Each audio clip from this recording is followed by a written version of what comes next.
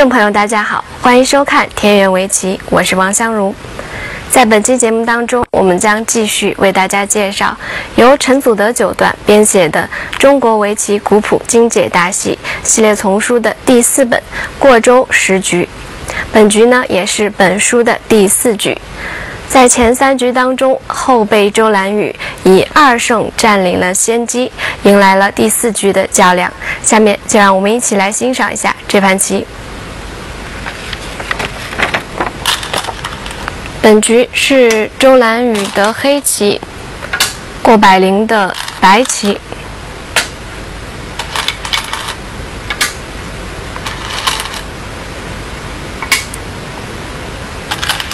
白先挂角，大飞，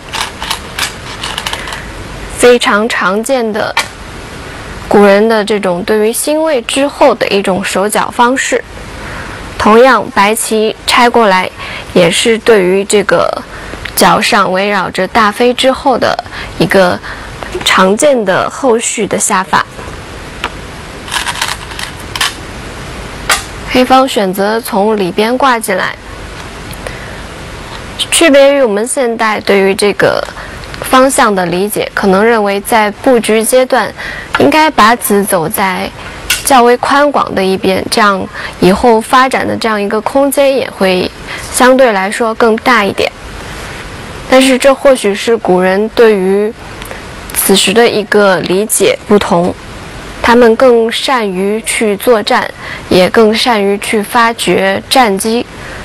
因而呢，从这里边挂。同样也是想起到威胁白棋这个子的作用。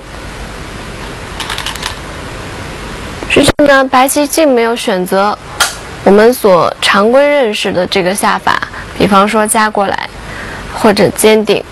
那过老先生的这部靠压，在当时的这样一个术语当中叫做以盖。对于这个以盖的下法，这两位棋手应该是可说是研究非常的深入，所以呢，过州十局也可称作为过州乙盖十局，因此呢，也就体现了这个乙盖的下法在这个过州十局当中所出现的概率是非常的高。这个下法。应该从我们这个目前流传的棋谱来看的话，是属于明清之际非常流行的这样一个选择。但是到了清朝康熙年间，也就是黄龙士的，应该是黄龙士较为盛名的那一个阶段的时候。在这个黄龙士与周东侯的对局当中，我们就会发现很少见这个以盖的下法，而当这个以盖出现的时候，仅限于一些个别的这样一种定型方式，就区别于现在我们所见的过周十局当中，每盘棋都会出现这样的一个下法。实战呢，黑棋。周兰雨他是选择了小尖，那此前的几局当中，由于这边没有白子，所以我们看到的是有黑棋长了之后贴一个之后的一个下法。现在呢，由于有了这个子，黑棋想求变，白棋上边先拐一下。在我们现代对于这个小尖的一个应对的话，白方多半是选择靠过来。黑棋如果挖，就打吃。接上的时候呢，白棋要把这个接住。由于粘一个是先手，黑棋暂且不能断。比方说黑棋补一个，或者补在这边，然后白棋再从这里补过来。这是白棋护住角地的一个下法。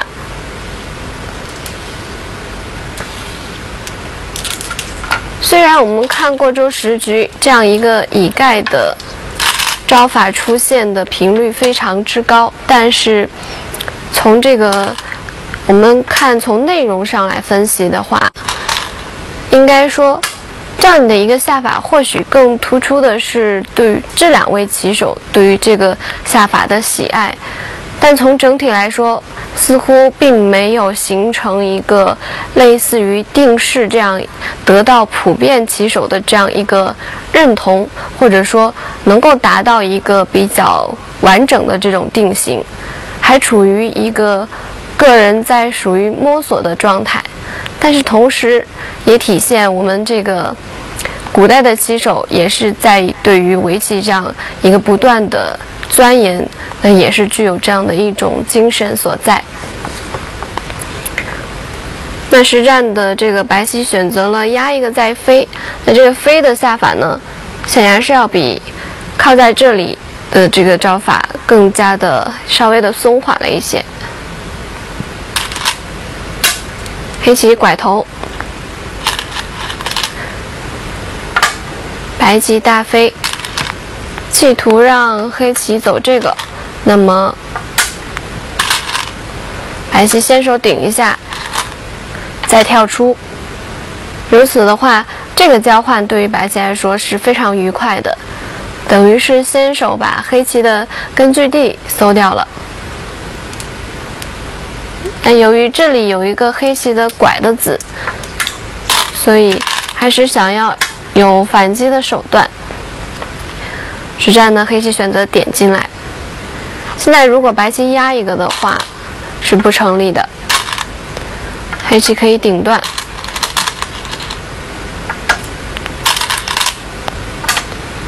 这样长一个的话就被黑棋爬回了。假设白棋拐，黑棋抱吃住，如此的话，黑棋通过这个点，让自己的这一块棋得到彻底的安定。那。白棋当初送进去的这个大飞这一子，就显得有一些无趣了。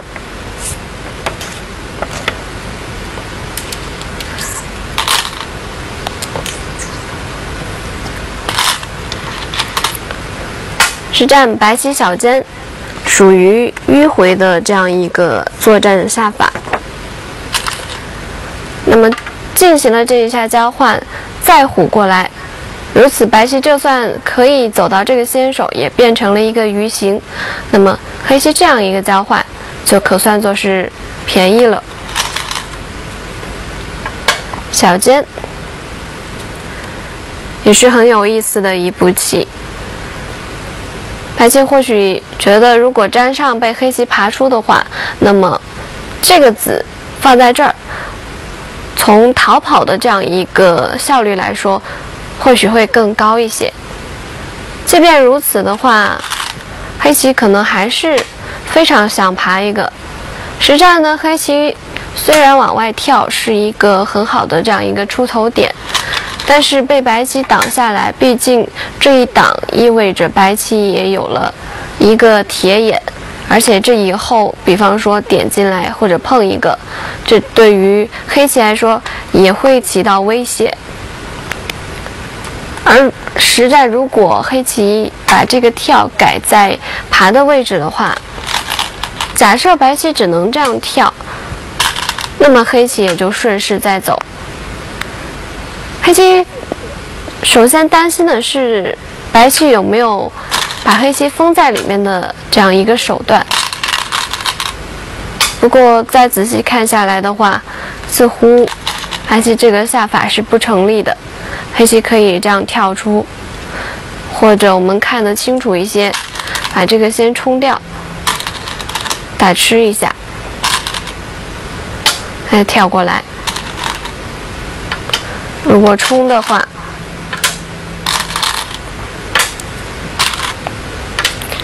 就这样打吃，这下法相对来说都比较必然，然后一贴。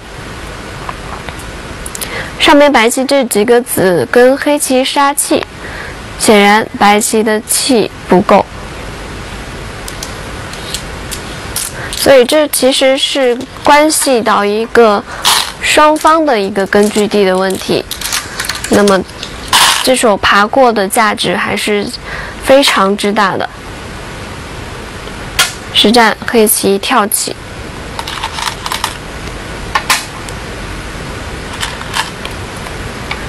飞一个。这手棋从目数价值上来分析的话，固然是非常之大，但是现在这个情况，对于黑棋和白棋这两块棋，双方都处于一个还没有完全安定的状态，那么也就意味着这一带存在着一些更为紧要的大场，比方说黑棋把这个头飞正过来。这样是强调白棋这块棋整体没有活，而且现在白棋没有一个比较舒畅的这种出头点。如果要依靠这个拖一个去做活的话，那未免显得有些委屈。如此的话，黑棋争得了中府的一个正面，那也就是得到了整体的这样一个控制权。跟实战黑棋走这个被白棋。跳过来相比，白棋的头走畅了，同时呢还威胁着黑棋这个挖断的问题。如此，这两手的差别应该是显而易见的。所以我们在下棋的时候呢，要寻求这样的一个平衡点。虽然最终是要以目数的多少取胜，但是并非一味的去找这个。目数价值大的棋就一定是正确的，还是要根据全局的这样一个嗯控制来选点。实战呢被白棋跳了过来，黑棋的这个交换是明显在防白棋挖断，但是这个交换未免显得过于的俗，如此也也让白棋的这个头变成了一个坚硬无比的。这样一个头，与其如此，黑棋不如把子放在小尖的位置，这样其实也是间接的防止了白棋的挖断，因为有了这个小尖，假设现在白棋挖一个的话，且不说这个黑棋有虎之类的下法，比方说这样，这一跳冲断的话，正好一吃。所以，如果这样下白棋，比方说也跳一个之类的，就算如此，黑棋再把这个虎过来，那么这两手的出头点要比实战交换了一下以后，再比方说再跳一个，整体来看，黑棋的这个形状还是这样更为舒展一些，而且呢。黑棋在这里多了一个子以后，白棋上边的这个形状气紧，就简单的尖了一瓦打，就有一个打劫的这种可能性。毕竟这样的一个交换还是很难下出手的。跳出，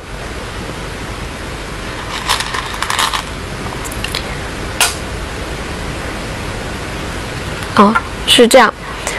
黑棋交换了一下以后，走这个，然后白棋走。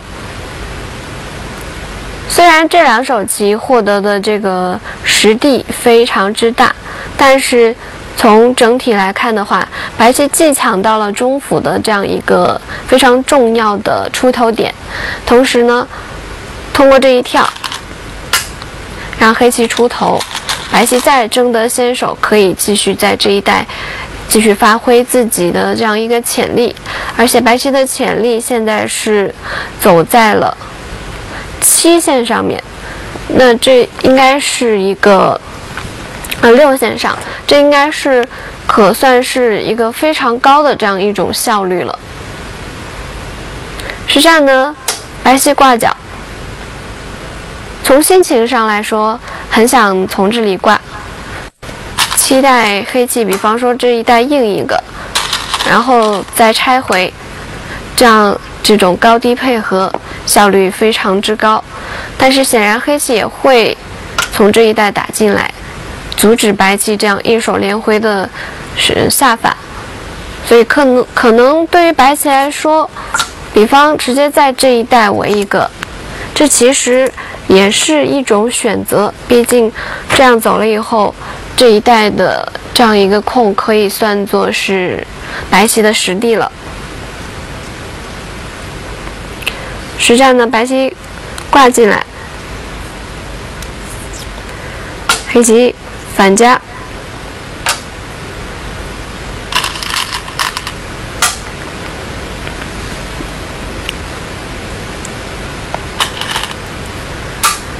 白棋飞，挑一个。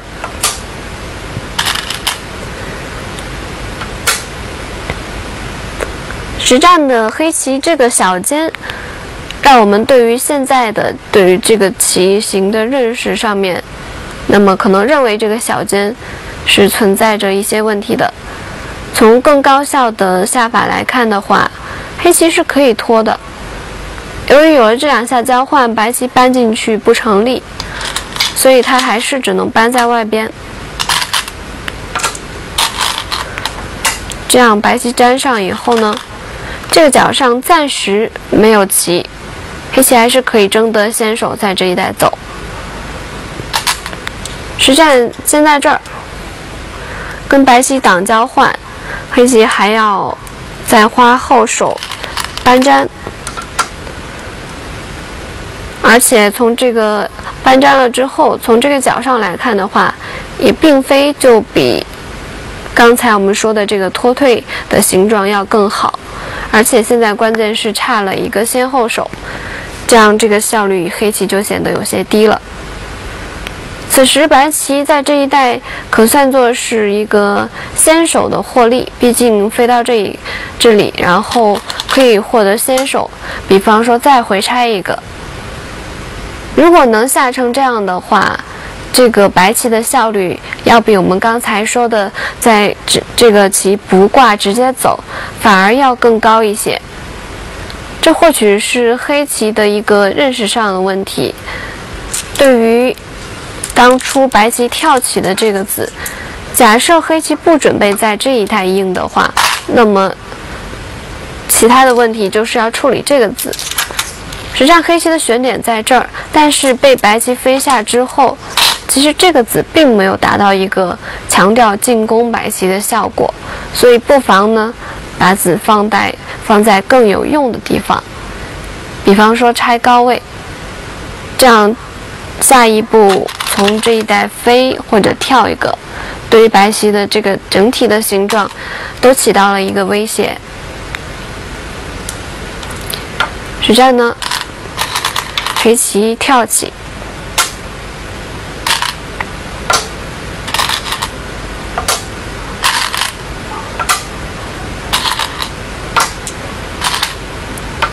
在这里进行了交换，黑棋落了后手。就如同我们刚才所说，白棋假设在这一带走的话，将是一个非常可以满意的进行，而实战。白棋不依不饶，想通过这个夹达到一个开劫。白棋最终希望是强迫黑棋吃回，然后白棋还能交换到这个打吃，这样先手定型，让自己的形状变厚，之后再转而下上边。但是呢，正是由于白棋的这样一个开劫的判定的问题。导致后面的这个在打劫的过程当中，黑棋下的非常的出色，让白棋率先挑起了这样一个劫争，反而最后是以亏损为结果。这样我们接着看，白棋做劫，黑棋先提，小先找劫。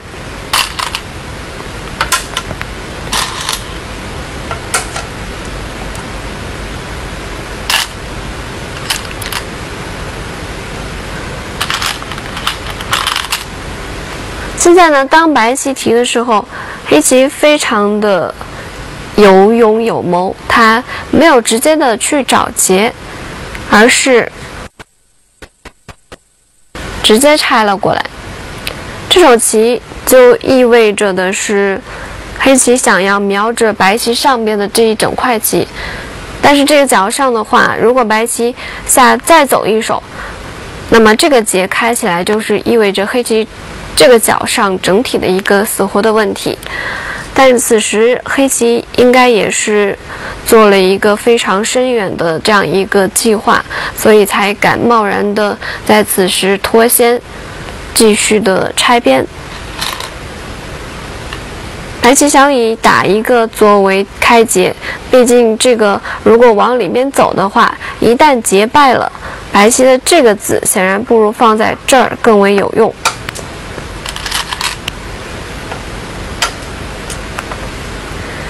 其实白棋当初开劫，作为这个劫材到底有没有利，或许还是一个非常具有争议的问题。因为当白棋找了这样一个劫之后，再想找出第二个明显的劫材，就非常的困难了。所以其实实战呢，白棋或许这个开劫的下法还缺少一定的成算，打入进来。黑棋通通都应住，比劫。黑棋的高妙所在就是在于有了这个子之后，在这一飞，继续的寻劫，这一点呢让白棋非常难受。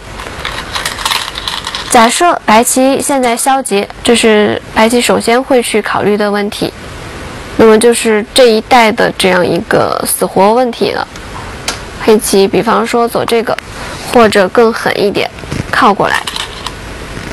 白棋如果挖一个，打吃，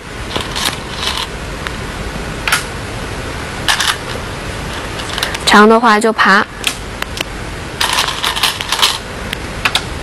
吃的话就顶住。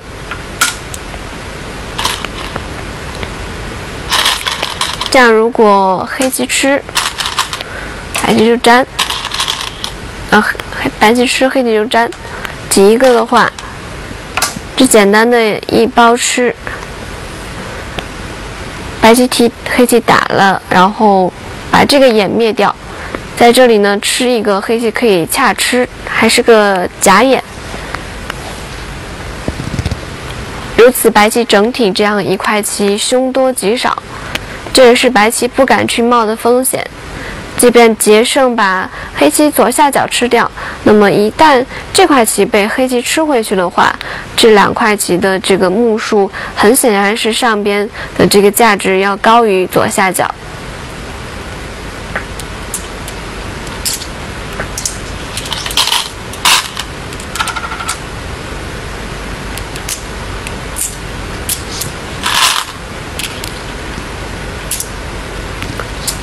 那实战黑棋大飞过来的时候呢，白棋只能跟着应，而且对于这个棋形，白棋选择应在哪里，也依然是一个比较头疼的头疼的事情。如果靠一个的话，黑棋还有长，粘上的话，被黑棋一贴。白棋局部仍然是不活，粘住这以后，简单的黑棋就顶一个，所以是这样的白棋只能尖在这儿。可见当初黑棋的这步拆，它所预留的这一步大飞，对于白棋整块棋的威胁是非常之严厉的。在这样一个打劫的时候，黑棋能够非常冷静的去处理，这也是。周兰雨他的这样一个过人之处，黑棋还要顺势把这个棋给定型了，否则即便提劫的话，白棋把这手棋补回，黑棋这个劫就算劫胜，也无非是把这个子粘住。但是如果这一带让白棋连下两手以后，这个冲断之类的下法就马上接踵而来了。所以呢，这个劫虽然是对于黑棋来说可能负担会更重一些，但是毕竟我们要了解到是黑棋之前已经等于是拖了一手，先在这里拆到了一手，这个判断还是我们还是需要非常清晰的。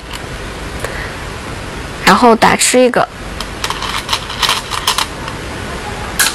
粘住，再粘到这儿，这样。白棋吃过来的时候呢，黑棋再提劫。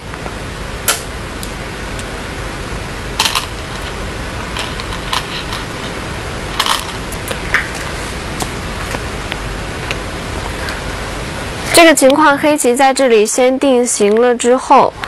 这以后粘住还是先手。由此可见，黑棋这一步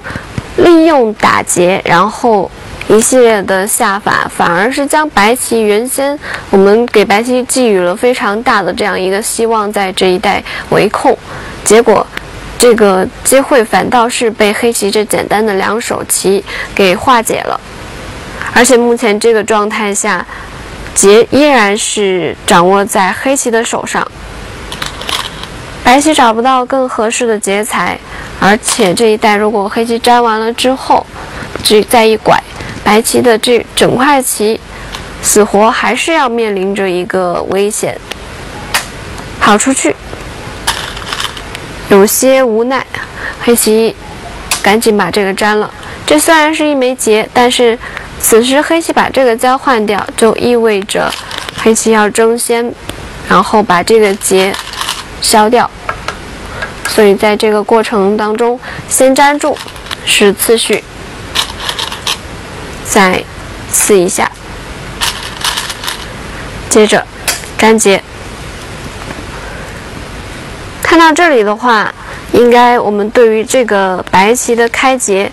形制现在会有一个重新的认识。白棋当初其实已经获得了一个先机，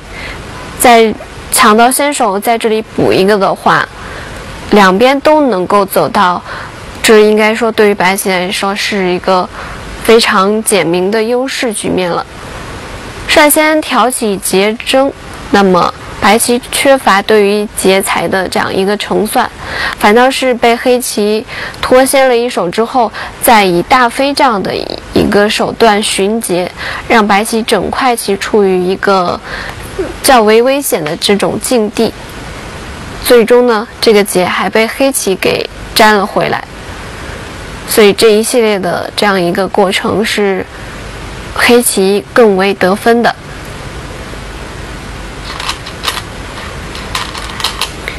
白棋先尖一下，出头跟黑棋拐交换，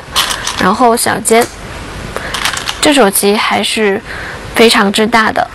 否则这个子被吃掉，被黑棋吃掉的话，白棋整体的目数会产生一个危机。走过来。黑棋不能接，或者说黑棋走这个，这样的话，白棋贴回，被白棋小尖，黑棋假设挡的话，这一长，黑棋上面是不活的，所以这个棋必须是有所舍弃，贴回。这也算是白棋在这个打劫的过程当中所能够获得的可见的这样一点点利益了。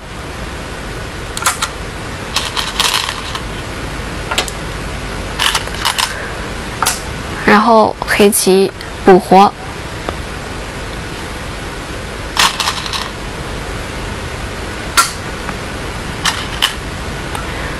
白棋小尖是想要继续的搜刮黑棋，黑棋在补活之前呢，先试一下应手，这样白棋为了更好的连回，他要卖掉这个猴，这样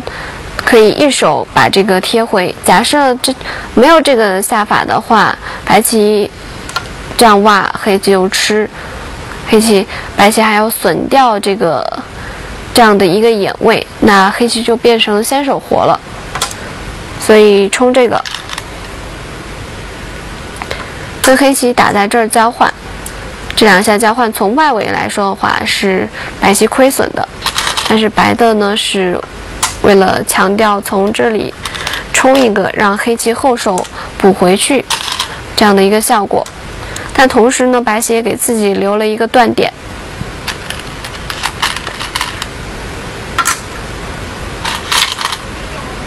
挡住。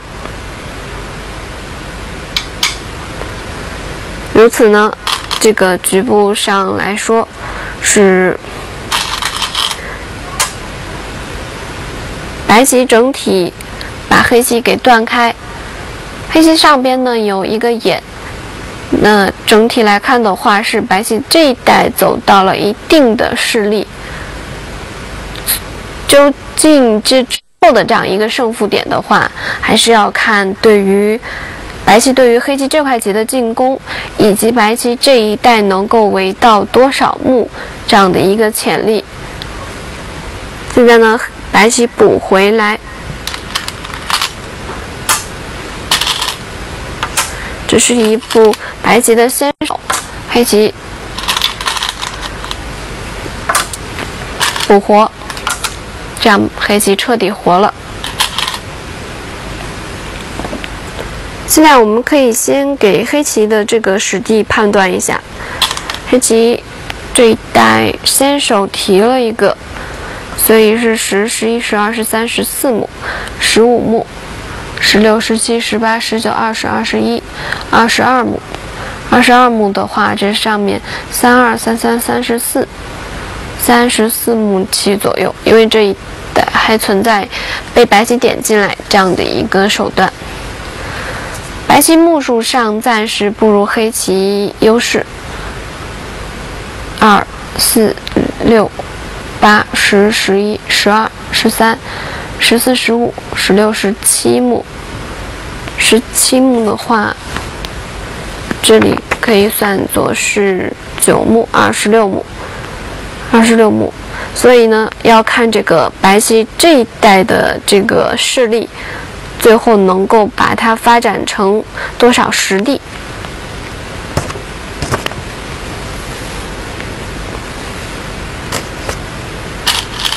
现在轮到白棋下，这个接住是当然的，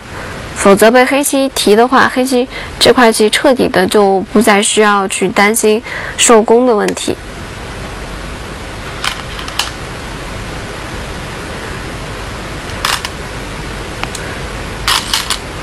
黑棋先断，这是从还棋头的这个规则来说的话，先把白棋断出两目棋，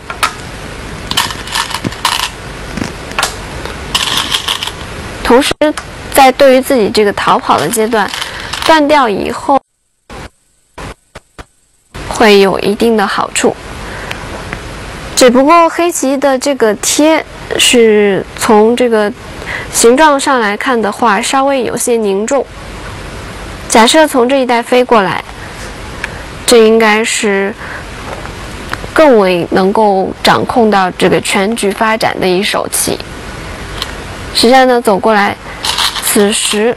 白棋过老先生下得是非常的机敏，先跳一个，黑棋跳出啊。在跳出之前，先点刺一下。这步点刺的话，虽然是黑棋的先手，但是交换了之后，并没有对黑棋整体有一个明显的帮助。而这手棋其实本来就是属于黑棋的一个可算作是绝先的点。那么交换了之后，很有可能让白棋反而这一块整体的气给变得更更加的松缓。如果没有这个交换，白棋这一带这四个子的气还稍微紧一些，所以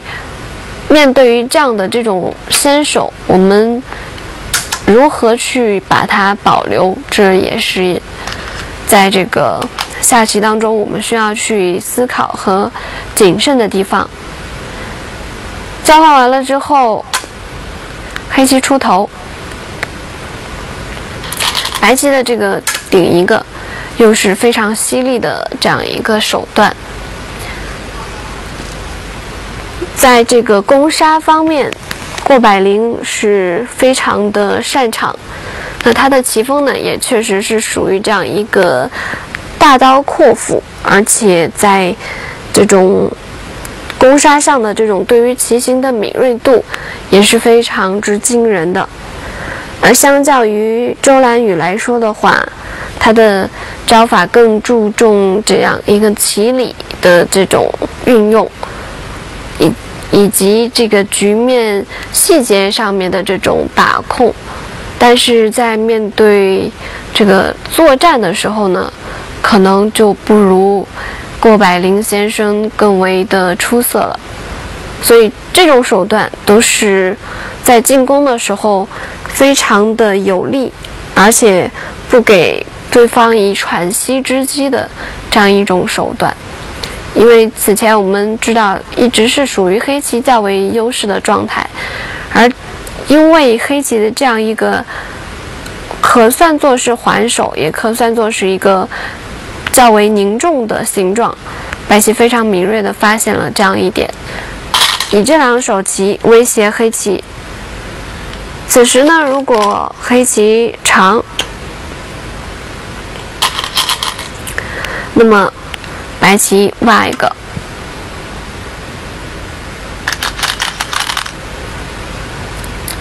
这样呢，这个挖一个的话，如果黑棋打吃，白棋就跟着走，冲的话，白棋就退。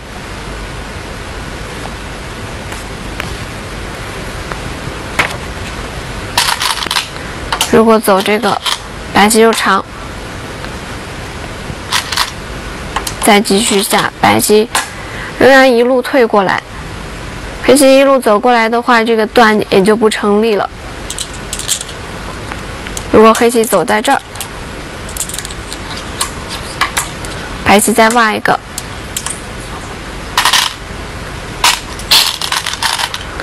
吃的话粘住。这样首先黑棋不能走这个，如果提被黑白棋一吃。外边黑棋已经没有办法出头，假设还要后手吃这四子的话，整体的这个外围被白棋包围住，白棋还是一个先手。比方说这样一吃，或者就简单的守个角，再或者连个边，这对于白棋这整体的发展来说，必然是能够有很大的一个成控的潜力。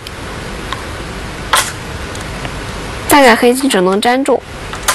跟白棋接交换，然后从这冲出。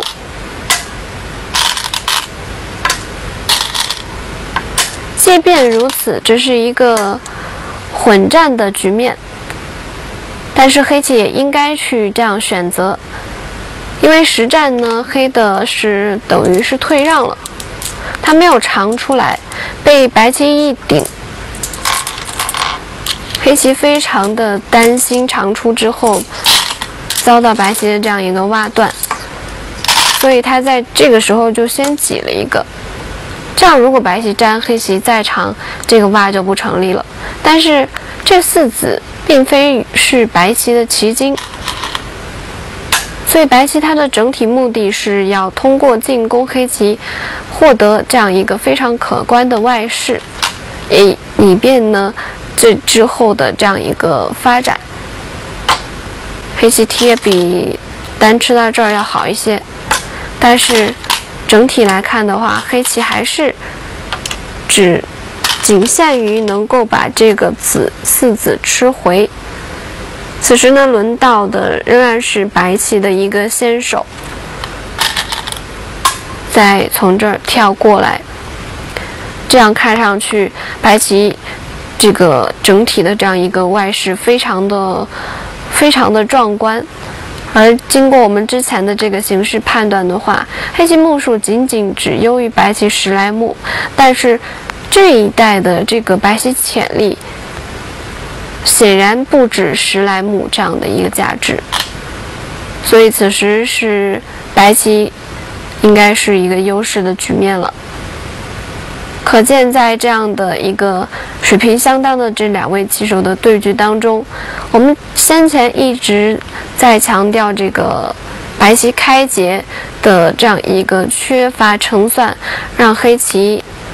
反攻倒算的这样一个情况。但是在黑棋被攻的时候，这接连的下出来的这个招法，一个是出头的点选的有问题，再然后就是被。白棋以强力制住之后，黑棋没有选择更狠的这样一种反击，退让了回去。结果这样一来一回两招棋，黑棋把先前的这样一个优势给断送了回去。不过由于棋盘呢还非常的宽广，所以不确定的因素呢也存在。因此后来呢，其实白棋也出现了这样一个。或者说是进攻上的问题，或者说是对于这个棋形的处理不够不够谨慎，从而呢，最终还是导致让黑棋得到了一个翻盘的这样的一个机会。所以我们再接着看，白棋走过来，黑棋挂角。从方向上来说，其实黑棋此时更应该从这边挂。因为的整体发展是在右边，这或许是古人与我们现代的这样一个对于棋局的理解和判断的不同。白棋虎下边，这个棋黑棋不敢打，他或许觉得打完了之后，如果无论是粘还是立，这被。对方断上去，这个子终究是要被吃掉；而走在上边的话，又担心整体的这样一个死活的安危问题。不过无论如何，从心情上的话，还是很想从上面打一下。或许黑棋认为这样交换了以后，保留了这样一个实战这个点进来的手段。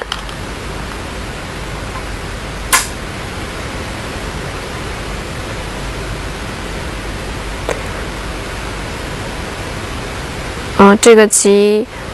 黑棋实战呢是拆了过来，这个拆的点是确实是存在着一定的犹豫。走在这儿呢，这以后白棋有一个打入了顶过来，但如果走在这儿呢，又觉得这个形状上过于的局促，这下黑棋还是选择了拆远一点。此时白棋显然是带有一个浓厚的优势意识。对于这一带的这个补棋的选点，白棋即便放在这一带，黑棋这个角上仍然是活不掉的，飞一个就挡住，冲的话就挡住，挡在这儿简单一般，黑棋脚上不活，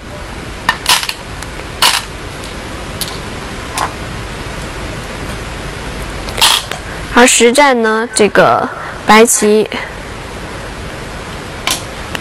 飞在这儿，这一招棋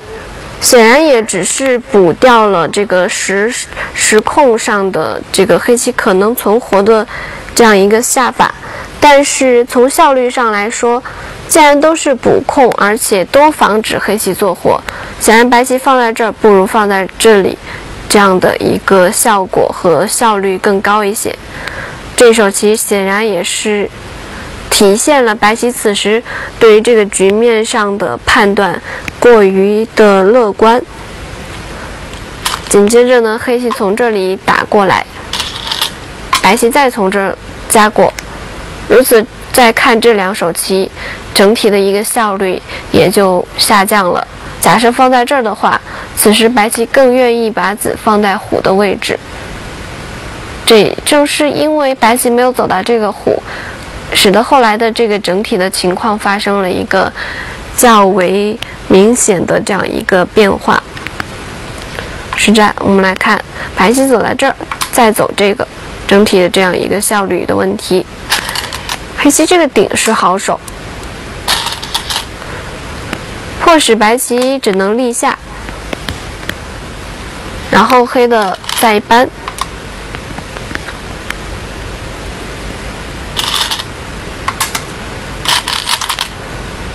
然后长。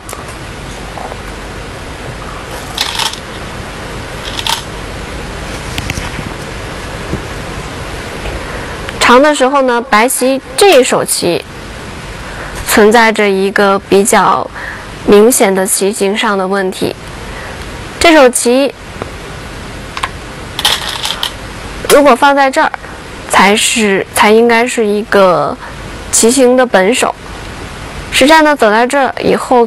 给黑棋留下了一个明显的跨段这样一个借用的机会。看似是不经意的一个出头悬点，但实际上关系到整体的这样一个厚薄的攻防问题。走在这儿呢，黑棋先挡一下，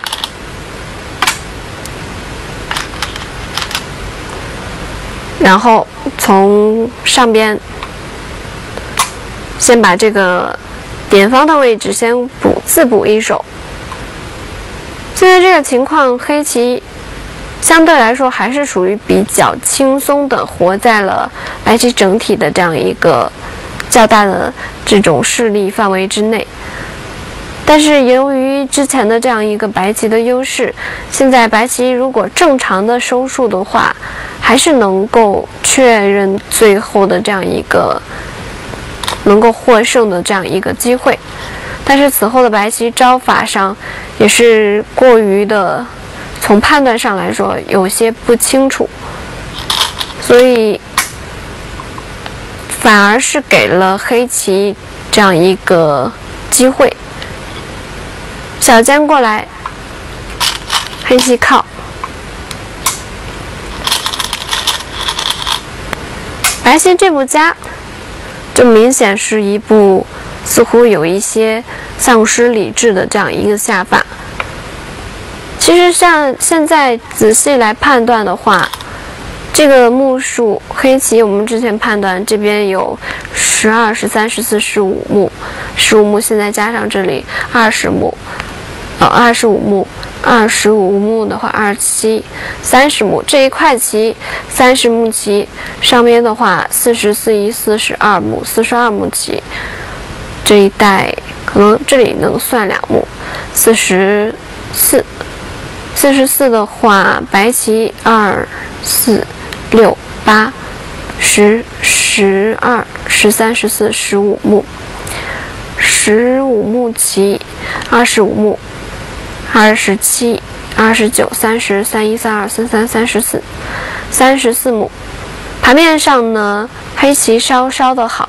但是现在情况。如果白棋搬一个，就能够增长三到四目棋，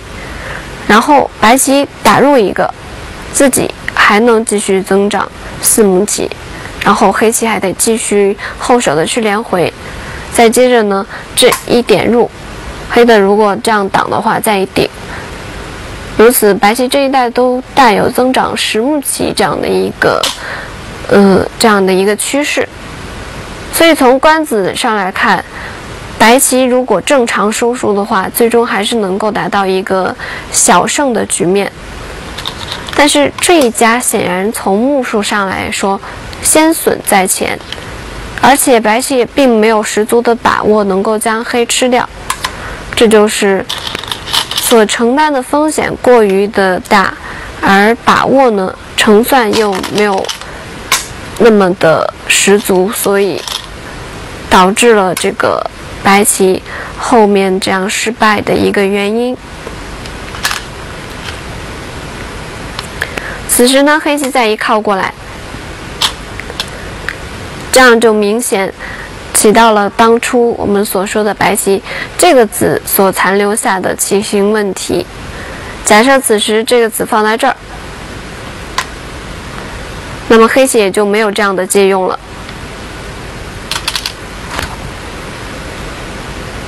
走这个，白棋也只能先冲，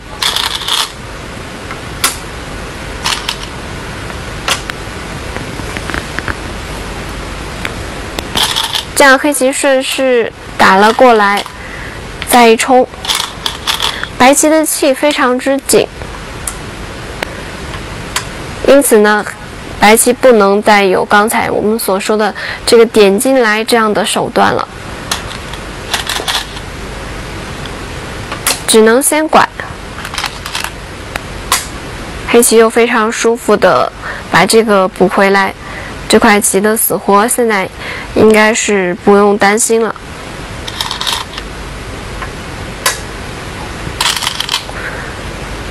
再尝一个，还带着木数。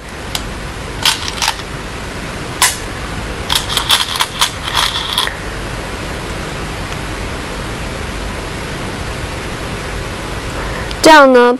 这个局部黑棋暂且是可以做活了。实战白棋靠下，这手棋多少有一些不痒，毕竟跟黑棋这个非交换吧，黑棋是守住了主要的实地，而白棋所破的目数仅仅只有这个五六七八九九目棋，但是整体来看的话。黑棋如果护住主要的空，中间活成现在这个状态，而且刚才我们所说的白棋搬一个能够掌控的地方，现在全部被黑棋给消掉了。那么从这个一进一退之间的话，白棋的目数是要堪忧的。很想从这个二四的位置清分进去，局部的话。白棋是有存活的可能，说跟黑棋杀气这样的一个机会，但是黑棋可以先这样走，比方说白棋挤粘住，再粘一个之类的，黑棋搬一下，白棋如果走这个，黑棋可以先点，白棋。做成一个刀把五，这个气是非常之长，但是由于之前这个形状上的问题，被黑棋这样靠了之后，白棋的气这一块气很紧，黑棋这样一顶，白棋意外发现断不掉黑棋，这个还可以再扑一下，然后走这个，白棋现在就算连一个黑的这样扳一下。然后一收气，提掉，打吃粘住，再一打，再一粘，然后黑的这个侯一个先手就可以达到一个做活。如此的话呢，这个形是，而且黑棋另一个还是先手，这简单的侯一个就可以做成两个眼，所以这个棋形是白棋虽然很想这样下，但实际上是不成立的。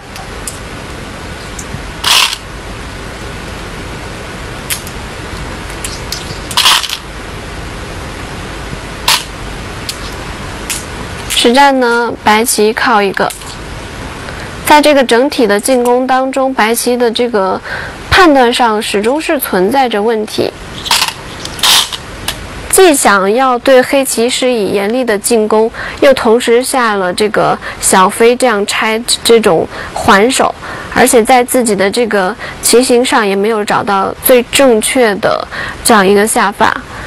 所以这样一个进攻有一点属于这种不伦不类的这样一个进行，因此呢，黑棋现在已经把这样一个之前所失掉的这种落后的这个情况，已经在逐渐的扳回了。打入固然很大，但是。交换完了之后，黑棋先加过来，啊，先跳一个，白棋飞交换，然后走这个，白棋贴是想要连回这两子，这样冲一个的话可以挖，但是现在在这又落了一个后手，被黑棋把这个爬回来，这一子的这个价值是非常之大的。尽管我们刚才说白棋从这儿靠下去。有点心不甘情不愿，但是嗯，以这个实际目的为出发的话，白棋既然只能这样下，那么还是应该争取下到这个档。也就是说，实战的这个白棋现在还是应该脱先走到这个这个挡住。如此，现在落了个后手，被黑棋爬回。从这个形式上来说，黑棋已经占了绝对的优势了。再一点，本身此时黑棋粘住这个局部是净活，在这个这样去选择这个转换，黑棋似乎不如单粘上，要从目数上来说的话，要更为的好一些。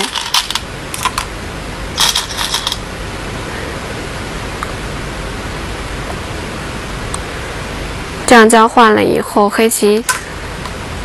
走这个，然后白棋走，黑棋这样猴一个去做活。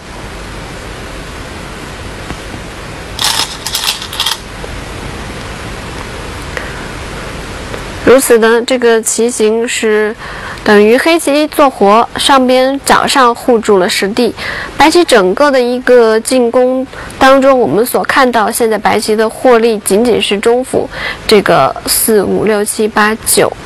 九目棋左右，而原先的这个班能够增长的一二三四五六七八，等于白棋是把这个损失。补到了这个地方，那么但是整体来看，当初白棋还可以达到更多的围控这样的一个结果呢，就完全的被黑棋打破了。而且黑棋在上边摆这块空，我们当初由于担心白棋这以后有点进去这种手段，所以给黑棋的慢算目只算到这。那现在呢，黑棋其实是已经增长了四目棋，再加上这个。中府的这四目棋，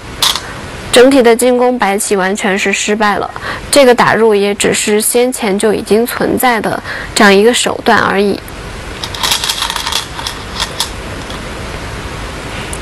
现在还轮到白棋来收官。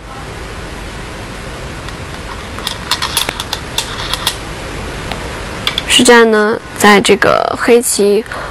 侯一个之后。白棋端上来，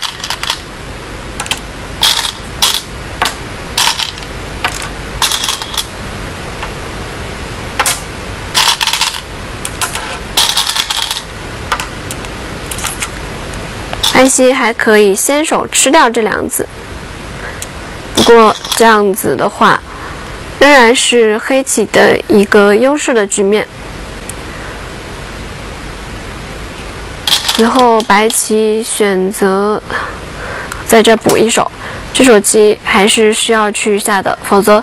黑棋这断了有一尖。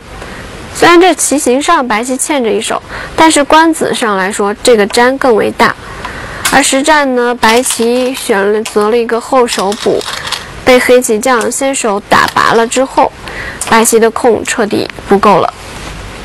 最终呢，本局也是黑棋周兰雨获得了胜利。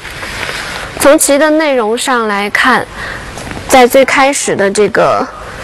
打劫开始呢，白棋就是获，首先是在计算劫财的计算上面缺少成算，